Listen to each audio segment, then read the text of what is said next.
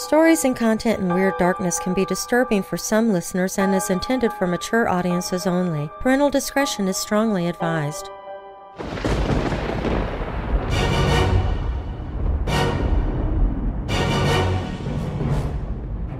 Welcome, Weirdos! I'm Darren Marlar, and this is Weird Darkness. Here you'll find stories of the paranormal, supernatural, legends, lore, the strange and bizarre, crime, conspiracy, mysterious, macabre, unsolved, and unexplained. Coming up in this episode, it's Thriller Thursday, and I'm bringing you an original story of fiction from one of our own weirdo family members, Patrick Greene. It's a story he has titled The Black Sphere. If you're new here, welcome to the show. While you're listening, be sure to check out WeirdDarkness.com for merchandise, my newsletter, to enter contests, to connect with me on social media. Plus, you can visit the Hope in the Darkness page if you're struggling with depression or dark thoughts. You can find all of that and more at WeirdDarkness.com. Now, bolt your doors, lock your windows, turn off your lights, and come with me into the Weird Darkness.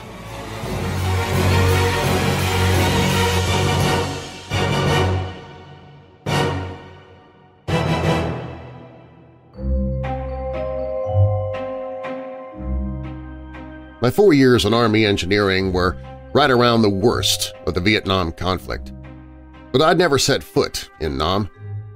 Thinking a step ahead, I enlisted and got into something else, engineering, before they could draft me. Yet, here I was, 17 months after the official end of conflict, heading into the deepest part of the Nam jungle, up behind Ko Khao. If I could have chosen between combat and what was about to happen, I'd have jumped into frontline infantry with both hands. I got a good job with a French hydroelectric outfit, Electrique Bourrant, thanks to yet another moment of brilliant foresight. When U.S. involvement in the quagmire, uh, excuse me, I meant war started wrapping up, I figured companies from all over the world would be brought in to help with reconstruction, or in this case, expansion. EM got the contract to put juice in the deep boonies of our latest freedom-spreading venture, and I landed on the crew to lay the final survey markers. When I say deep, I mean remote. This parcel was a good few clicks from the most remote village. The other guys were chosen for their background and familiarity with the region. They were all vets too, only with actual combat experience. Trainer was stationed with me in Texas, he got on with EM at my recommendation. Hap was almost 60 but fit as a fiddle, funny as hell, and always up for adventure or any other type of good times. Frenchman Duarte was both ridiculously intelligent – his English was better than mine – and tough as nails, having served in the Legion. There were two security contractors, Bolin and Domingo, along to protect us from wildlife – tigers and monkeys, I presume – or friendly jungle rats, meaning any natives who still had a hate on for foreigners. Bolin I knew from Basic, of all places. Hadn't seen him since. Turned out he saw a good bit of action and really missed it, the way a retired boxer misses getting his head bashed, I guess. A good guy, if quick to talk himself up a bit much. As for Domingo, we all found it funny, including him, that he was not connected to any of us in any way. After a sweet two-day stay at a swank French resort on the beach, we stowed our gear on the Jeep and checked out. Then came time to stand around in the parking garage and show off our weapons, a long-held tradition in the world of ex-military men who still did military stuff. Everybody had a handgun, naturally, and we all got to spit a lot of technical jargon. Mine was just a no-frills 32, but I kept her clean, so the fellas showed it some love. Bolin had a brand new top-of-the-line game rifle, courtesy of the company. Domingo carried a 12-gauge. It looked like it loved him, if that makes sense. Cracking wise the whole way, we rode a good 30 miles up North Sang, a rougher road than I'd ever seen back when I was a punk hellraiser out in the mountains of North Carolina.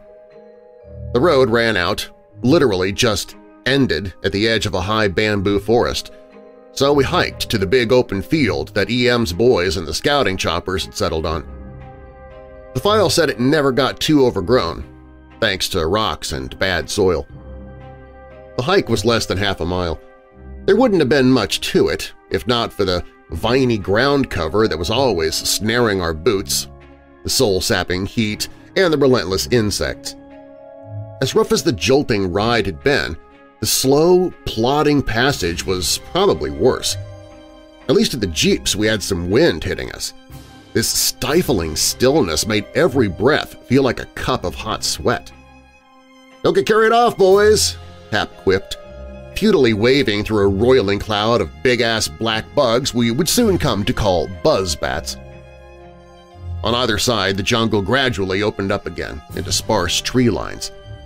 Beyond the field was a dense little jungle of teak and bamboo about 500 yards square. Hap, doing a decent Rod Serling, gave his section a name too. You have entered the Dark Realm. We all laughed at that little verbal swerve.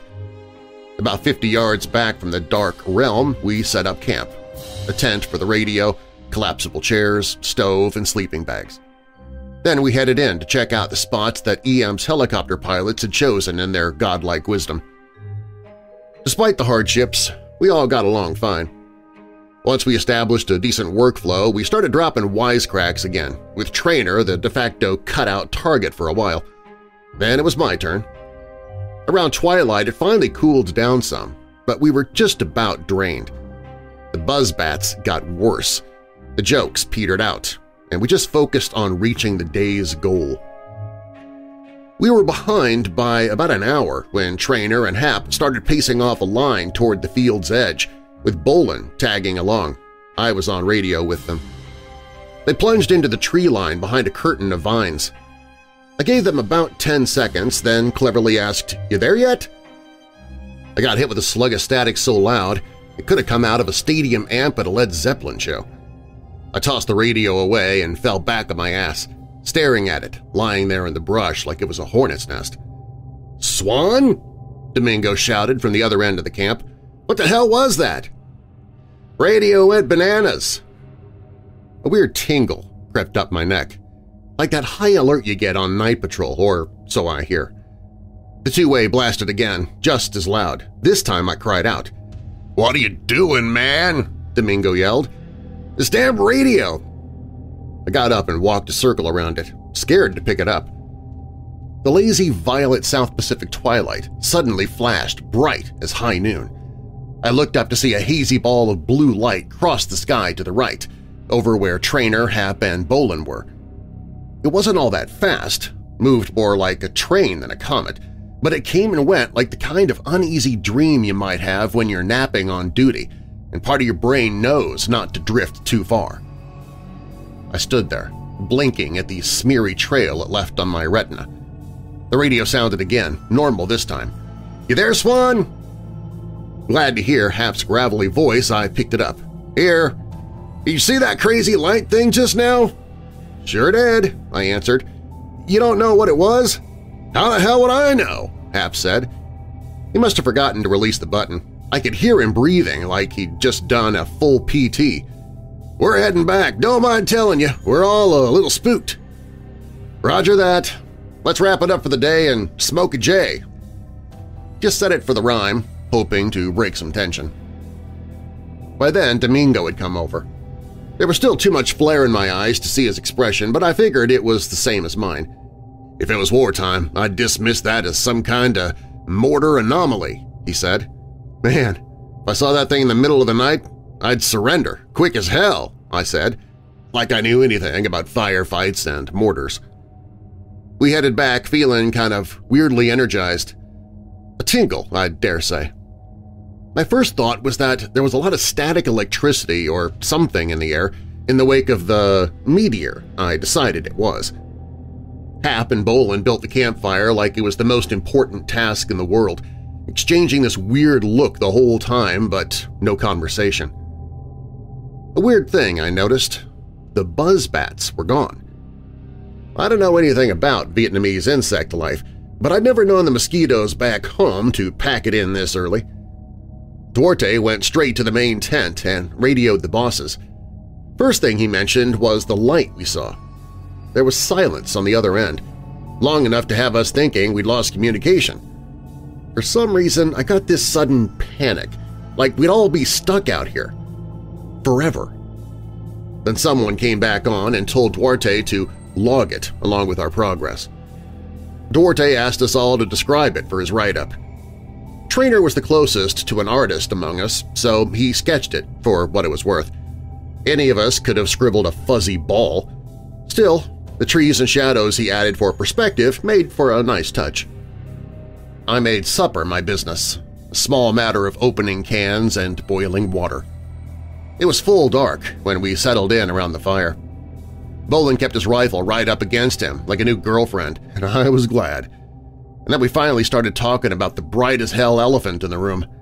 My papa saw one of those things in our vineyard when he was a boy, Duarte began, checking our faces. Sampled his own product, sounds like, said Hap through a mouthful of spam. We all laughed at his delivery. Better than Johnny Carson.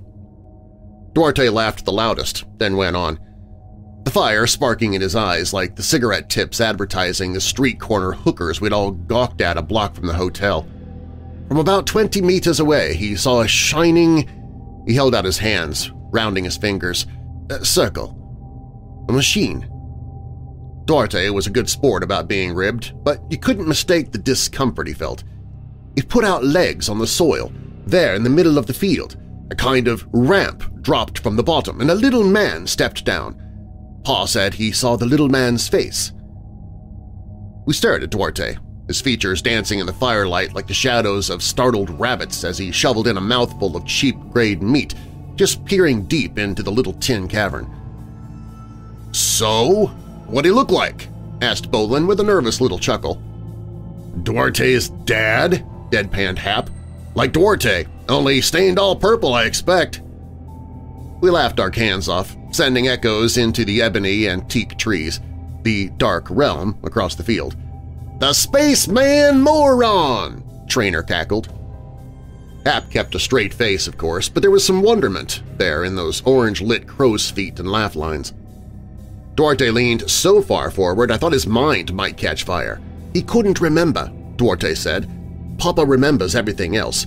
The little ship, the man's uniform, but the face is a blur. What the hell does that mean? Trainer wondered. Duarte shrugged. Papa said it was like that part of his memory, just that one little section was erased. Duarte thought for a second. Uh, painted over. Bolin looked back toward where we'd seen the flying crash then at Hap, like he was hoping for a skeptical quip. What if they can just uh, mold our memories, like clay, so we don't even know if… Who's they, Bolin? Hap interrupted. Bolin shrugged. Whoever's piloting these, uh, things. Bolin stood about six four, weighed an easy 240. But right then, with his eyes all bugged out, he sounded so much like a vulnerable 10-year-old that he almost looked like one too. We all burst out laughing. I never said that light was a, a spaceman, backtracked Duarte. Yeah, pretty much did, Frenchie, I said. Said your dad saw one anyway. Duarte shook his canteen, tossing his empty meat can into the fire. I don't know. Got a whiz, Domingo grunted, checking his hip for his sidearm, a nice nickel Beretta that I coveted. We all knew to keep the bathroom business out from the camp, so as not to bring all kind of wildlife traipsing up to see who was marking their turf. We'd settled on a spot at the edge of the dark realm, a good 12 yards from camp. Yeah, it was a bit of a walk, but it beat having a three-foot monitor lizard crawl into our sleeping bags or being pissed on head to toe by agitated monkeys. We moved on to other topics. What we did before this gig, what was next, anything but the flying light – Hey, Domingo called to us. Guys! Can't find your wanger? asked Hap. Predictable, I know, but like I said, it was his delivery that made all the difference. Get out here! We all grudgingly stood up and trudged toward the dark realm. The laughs were gone by the time we made out the shape of Domingo. There were no animal sounds. I felt a heavy vacuum, a feeling of absence, not just in myself, but coming from the other fellas too. "'Come here! Come here!' Domingo whispered. As we came up beside him, Domingo jabbed his finger at a section of blackness, maybe six yards away. Look there for a second! Let your eyes adjust. As I did, a perfect circle about eight feet wide formed, like sand washing away from a seashell. It was then Hap clicked on his flashlight. "'Don't!' I said reflexively. Not a flat circle, a solid sphere, matte black and smooth like polished onyx. By the time we all spouted our variations of what the hell, Hap walked right up within a couple of feet, trailing his beam over the surface. "'It's a fallen satellite,' offered Duarte. "'Yeah? Well, it ain't finished falling then,' said Hap, shining his light at the bottom curve of the thing to show us it was hovering at least a foot above the ground. We all just stared at it for maybe a minute, Hap covering every visible inch with the beam, walking a wide circle around it. "'Anything?' I asked. "'I don't see whatever's suspending it,' Hap answered. "'Yeah, sure is quiet,' Trainer said. "'It's not giving off any heat.' Hap came back over to stand beside us for a second, then drew his knife. Oh, hold on, I said. It might shock you or something. Duarte took his insulated gloves out of his back pocket and tossed them to Hap. He slid them on, and we all stepped back exactly as far as he stepped forward. Bolin raised his rifle. Hap didn't make any kind of production out of it, just strode up and dragged his knife blade across the surface of the thing. It sounded muffled, like it was coated with Teflon or industrial plastic. Everybody who had a light was holding it right where Hap used the knife. There was no scratch or mark at all. Hap slid his rubber-coated fingers across it. What's it feel like? Nothing. No heat? Vibrations? Nothing. Hap sheathed his knife and came back to our group. Domingo, you done your business? he asked. Shake it off and let's get back. We're just gonna bed down with this thing floating out here? Trainer asked. Hap is right, said Duarte. We finish eating and we get some sleep. We'll take a closer look at this object in the morning. Object? I said. I guess it felt a little weird to talk about it like it was mundane or even real. Maybe we should have somebody stand guard tonight? said Trainer. You volunteering? I asked. Why don't we do two at a time for two-hour shifts? Me? I need sleep. Hap started back to camp. You fellows do what you want. As with his jokes, his brush-off carried a lot of weight. It made us feel like superstitious rubes. If the others were like me, they were weighing how they'd tell the suits at EM that we got behind schedule because of something floating black what's-it. Topic of guard shifts was dropped. Yeah, okay, I'm a light sleeper anyways. Bolin checked his rifle magazine and his sidearm as he started back to camp giving the sphere one last glance.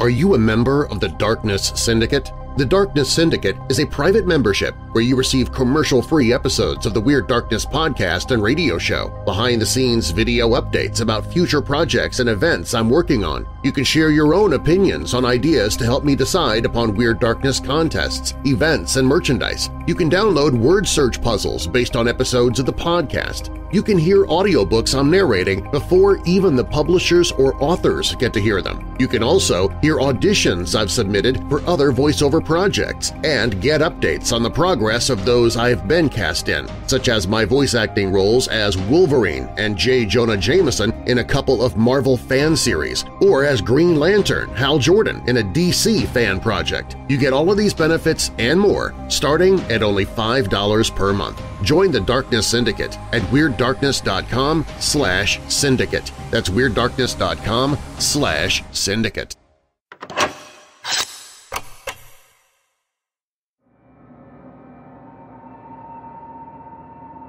We sat down and dug back into our rations. Silent at first, then pointedly trying to find a topic of conversation that would make the black thing easier to ignore. Everybody finished eating in a hurry. It was a cool night, So we all decided to roll out our sleeping bags around the fire. Nobody suggested ghost stories. I thought of the resort, where we had just spoiled ourselves silly on the company dime. Our game of chicken fight in the indoor pool had me smiling. Without a word, Trainer popped up from his sleeping bag like he just realized he left the oven on. "'Piss for me, too, would you, Trainer?' mumbled Hap. Trainer didn't answer or laugh, or even bother to slide on his boots. He just walked toward the tree line, the dark realm, straight as a pin. "'Left your boots, dumbass!' I called. I watched him till he merged with the dark. Then I closed my eyes and pretended for the first time in my life that a nice house and a family were waiting for me back in Knoxville, instead of my empty apartment where I didn't even bother to hide my Hustler magazines. Where, where the hell did he go? whispered Bolin. Huh? I must have dozed off. It took me a second to realize he meant trainer. Uh, pissing. Twenty minutes? Bolin whispered. Hope he took his teddy, grumbled Hap, so she don't get too lonesome. Probably having trouble with his butt hatch, added Domingo. Go help him, Swan. Har har, I said. Just as I dozed off again, a clattering sound jerked me awake. Turned out to be Hap kicking over the coffee pot. I raised my head and saw a trail of glowing sticks and coals. He just walked right through the fire like a zombie. Good thing he'd bedded down with his boots on. I sat up and watched him tread off toward the tree line, just like Trainer. You gonna get Trainer? I asked. Hap just kept walking, not even stumbling in the dark, making a beeline for the tree line, if you will. Swan! called Bolin. Domingo! We answered in a groggy chorus. That was weird as hell, don't you think? He was up, stomping out the stray embers. Maybe they're sexy for each other. No one found my little quip funny. You going after them, Bolin? Nah. He bedded back down. Just getting annoyed, that's all. I peered out toward the tree line, though I couldn't really see past 10 or 12 feet.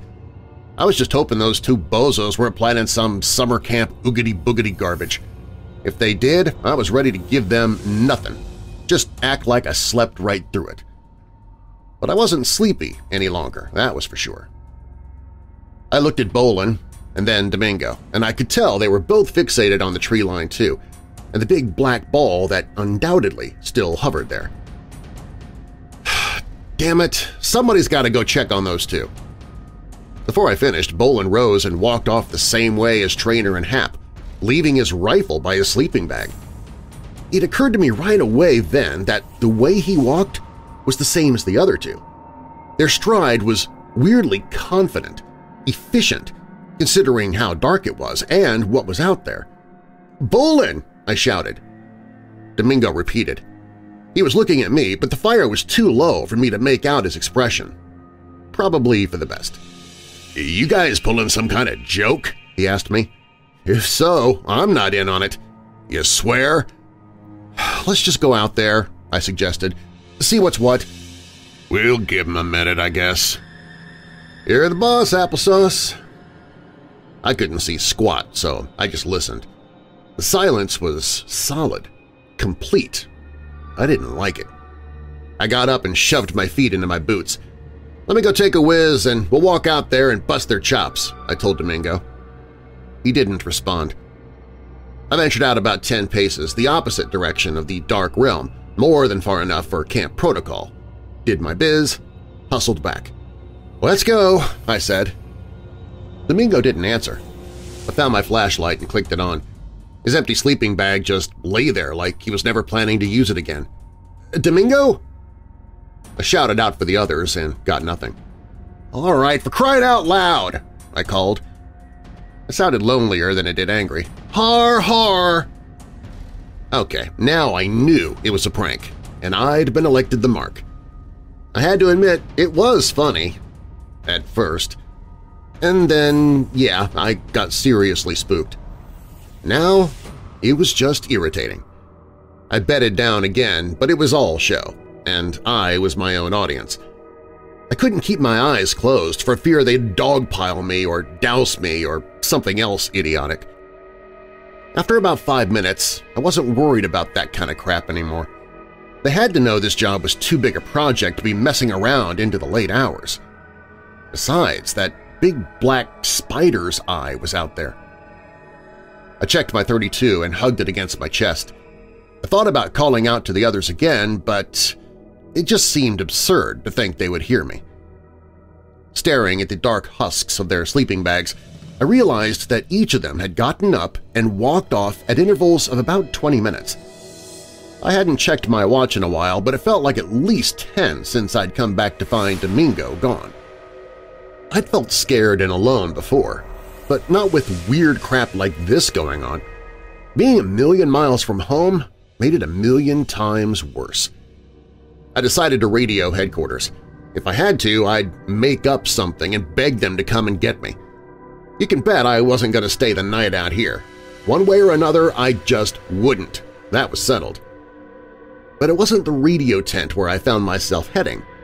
It was the tree line. I had no control over my own legs. Something buzzed in my head, and not words, but something intelligent and insistent and irresistible. I tried to call out, but my voice wouldn't work. It felt like parts of my brain had been hijacked. As soon as my legs took me past the fire, I immediately lost my sense of place. I couldn't see where I was going. But I knew. I was going to the sphere. Its control was quickly spreading like an infection, erasing my will but not my helpless terror. With an exhausting effort, I looked behind me. I only saw the dim orange embers of our campfire fading fast. I still had a gambler's chance, and the game was Russian roulette. I raised my pistol in front of me, aiming along the center of my forced path, and squeezed off three shots into the dark, into the sphere. There was no sound of impact or ricochet. Then I thought of Hap's knife, how it didn't even leave a scratch. I had three shots left, and with vines of unholy influence taking root in my brain like a parasite weed, a sickening choice. I had just enough time to end myself. Just as I raised the 32 to my head, my legs started working faster, as if to outrun my trigger finger. I was almost at a run when I thought of one other option – and cursed myself for not coming up with it in time to help the others. I put the gun barrel against my right knee and fired. Damn did it hurt! I fell to my side, absorbed in the sudden burning agony of splintered bone and joint. Without control of my legs, I hit the ground hard, knocked breathless. But my good left leg was still trying to walk, heel and toe arcing back and forth in the dirt like an upended wind-up doll. To hell with it, I thought out loud, and blasted a hole right through the top of my left foot. I screamed like a new arrival in hell. My legs still tried to move, alternating in a shaky, grounded dance. I raised the gun to my head once more, ready to make use of that last round to keep from facing both the unknown and this searing pain, if I somehow started moving again. My legs went limp. They'd been released. If only they had gone numb, too. I guess I was no longer suitable for its… their purposes, or just not worth the trouble. The crawl back to camp, about 20 yards, was sheer hell.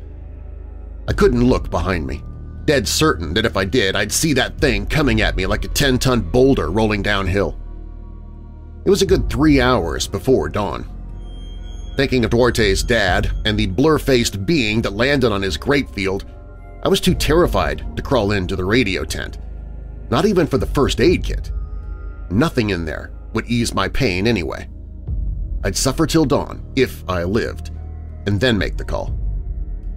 I had my last bullet, the most precious possession I have ever owned, and I had my watch to tell me how long it was until dawn.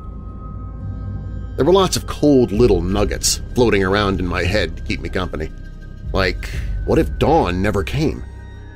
I'd be easy prey for the jungle's sharp-toothed regulars, or worse, for that godforsaken black sphere.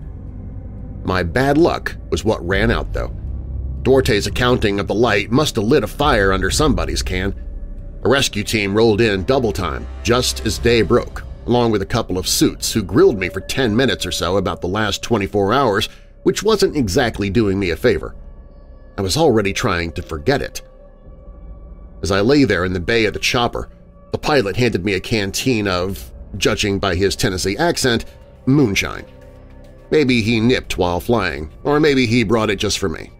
I didn't care. While I was being carried out, a handful of rangers checked the area. They didn't find anything or anyone, including my pals. These days I get around my place okay with a cane. Got full retirement, long as I keep my mouth shut, and neighbors on both sides keep me from feeling too alone. I'm always watching the trees around twilight, though, and I always keep my lucky bullet handy.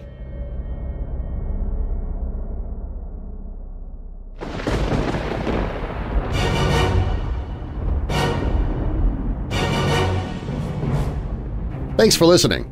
If you like the show, please share it with someone you know who loves the paranormal or strange stories, true crime, monsters, or unsolved mysteries like you do.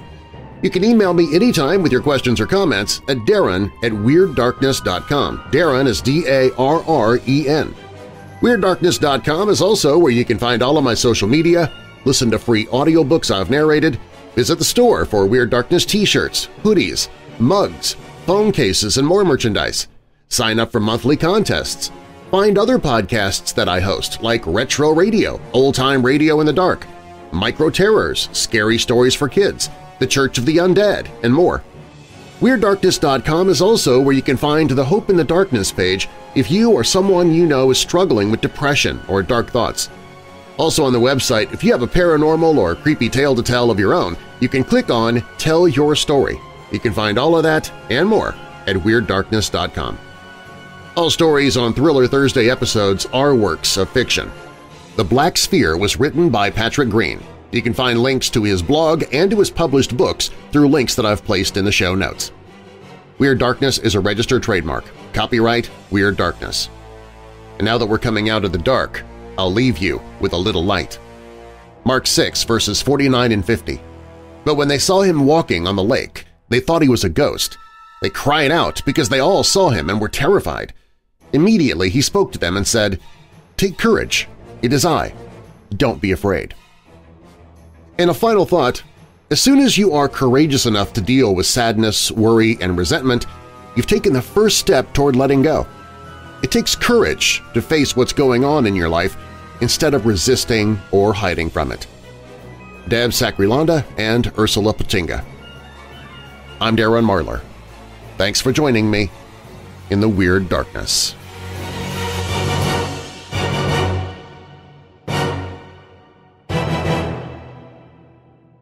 Said your dad saw one anyway. Eh, eh. Duarte shook his canteen. Eh. Duarte shook his canteen.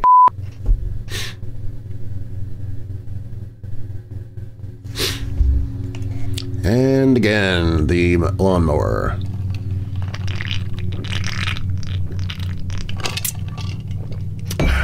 Trying to do it in between swipes now.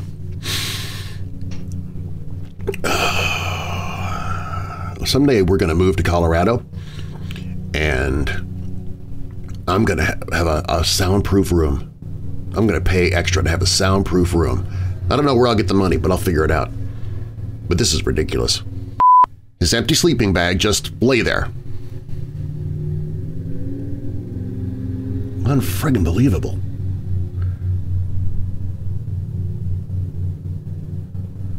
Lawnmowers and cars without mufflers. Used to be a, used to be a quiet neighborhood. Used to be.